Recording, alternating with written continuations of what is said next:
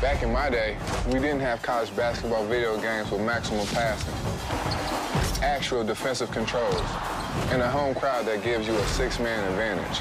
Hold on. Back in your day, you're 19. You just look like you're 40. The number one seeded college basketball video game is back and better than ever with new features that make the game more fun no matter what age you really are. School's in session. College Hoops 2K8, rated E for everyone.